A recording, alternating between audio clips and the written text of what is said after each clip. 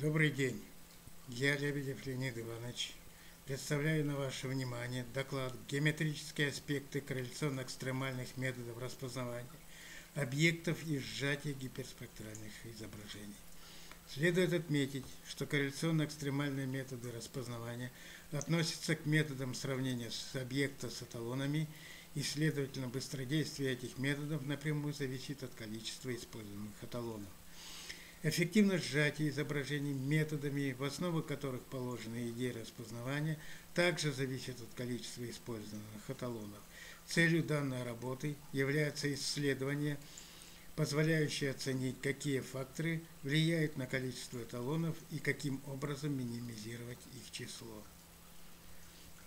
Исходной информацией для исследований будут гиперспектральные изображения, ГСИ – представлены в виде трехмерного куба, где каждый пиксель изображения является спектральным образом или сигнатурой некоторого фрагмента постилающей поверхности. По необходимости каждый пиксель далее будет представляться как точка в одномерном пространстве. Распознавание корреляционно-экстремальными методами осуществляется на основе вычисления оценок сходства – качестве которых берется минимальная относительно параметров преобразования объекта среднеквадратичная ошибка, получаемая по описаниям пикселя объекта и эталона в соответствии с формулой 1. В зависимости от параметров преобразования будем рассматривать четыре типа оценок сходства, инвариантно к тождественному преобразованию, к смещению – преобразованию подобия, а также относительно обоих преобразований. Вычисление этих оценок задается формулой 2. На быстродействие методов распознавания количество эталонов играет наиболее существенную роль в методах распознавания в режиме самообучения. Для этих методов характерно автоматическое формирование эталонов на базе описания нераспознанных пикселей. Пиксель считается распознанным, если наименьшая из оценок сходств из списка эталонов будет меньше заданного порога. В работе обсуждаются два типа порогов – постоянный и адаптивный, пропорционально нами пикселя. Вначале рассмотрим методы распознавания. Как следует из рисунка 1, при фиксированном пороге области покрытия в классах эквивалентности для методов распознавания – инвариантно к тождественному преобразованию и смещению не зависит от местоположения эталона. Для метода инвариантного масштабирования область покрытия будет большей, если выбирать эталон с меньшей нормой. При адаптивном пороге величина области покрытия, наоборот, больше для первых двух методов и не зависит для метода инвариантного к подобию. На рисунке 2 изображены многомерные области покрытия для метода инвариантных смещений и масштабирования. Область покрытия представляет собой часть пространства, заметаемого многомерным конусом при смещении его вдоль прямой L1, проходящей через точку, определя, определяющую положение заданного пикселя. Направляющий вектор этой прямой имеет постоянное значение координат. Для этого метода области покрытия зависит от нормы эталона как при фиксированном, так и адаптивном порогах. Рассмотрим теперь методы сжатия ГСИ на базе распознавания самообучения. Особенность этих методов сжатия состоит в том, что аппроксимированный пиксель должен быть восстановлен с заданной точностью. В формуле 4 приведены все четыре оценки сходства, используемые в предложенных методах сжатия.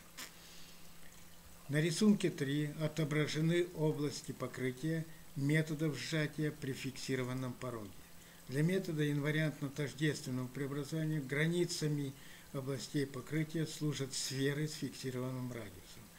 Для метода инвариантно к смещению – Покрытием является цилиндр с осью, проходящей через пиксель эталона и направляющей параллельной L. Для метода инвариантного к масштабированию области покрытия также и будет цилиндр с осью, проходящей через эталон и начало координат.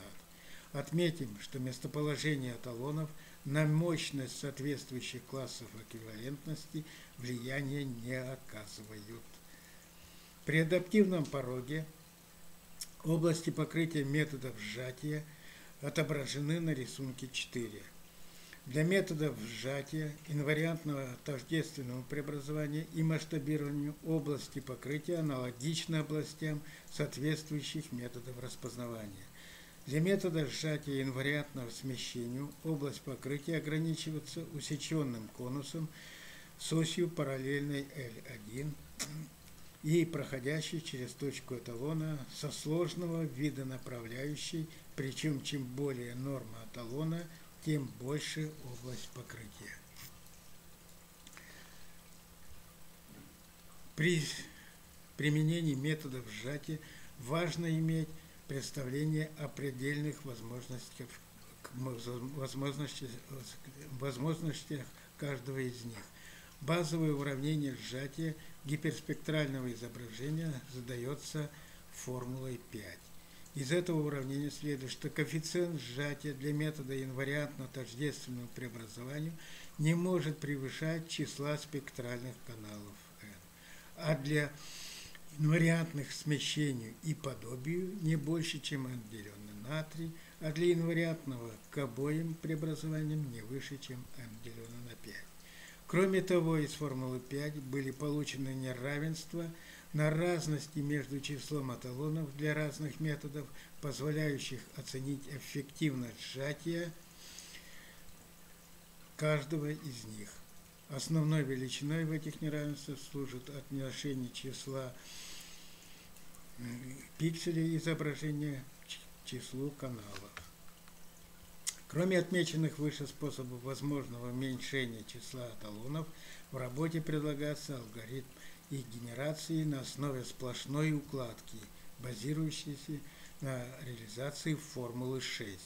Суть данного алгоритма заключается в применении описания, э, в изменении описания нераспознанного пикселя в целях удаления его от границ уже имеющихся эталонов для уменьшения областей перекрытия. На представленном рисунке показано, как на плоскости реализуется генерация нового эталона. Отметим, что на плоскости для сплошной укладки значение лямбда равно корень из трех, а для трехмерии лямбда равно 2 корней из 2 делено на 3. Получение значений соответствующих параметров для больших размерностей пока не реализовано, и, возможно, в этом направлении могут помочь работы Марины Вязовской по, по, по, по, плотной укладке шаров пространстве размерности 8 и 24. Эксперименты проводились на двух фрагментах реальных ГСИ. Подстилающей поверхности в первом фрагменте, представленной на рисунке 5, была акватория моря с нефтяным пятном. На рисунке 6 представлены результаты распознавания пикселей фрагмента методами с оценками сходства, инвариантными тождественного преобразования и масштабирования со смещением. В качестве эталонов использовалась область изображения, соответствующая палитре моря в составе 20 пикселей. А в таблице 1 приведены результаты сжатия при различных порогах. Как показали эксперименты, в результате применения алгоритма формирования талонов на базе формулы 6 их количество может быть сокращено до 5%, в среднем на 2% при различных раз... значениях параметра лямбда и номеров пикселей изображения, взятых в качестве начальных точек.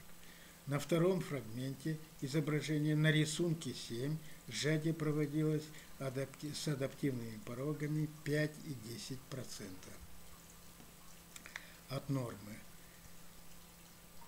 Как было получено, что при случайном выборе последовательности срок количество эталонов уменьшается в среднем на те же 2-3%, но без гарантии такого уменьшения при конкретном запуске алгоритма сжатия. Заключение. Проведенные исследования эксперименты на реальных ГСИ позволяют оценить эффективность от, от применения того или иного метода сжатия. Теоретически установлены предельные коэффициенты сжатия для каждого метода.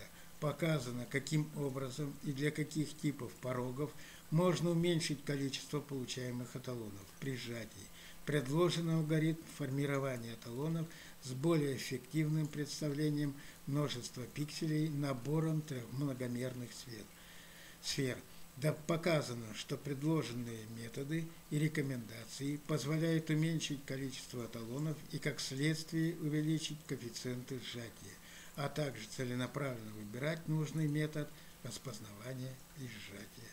Спасибо за внимание.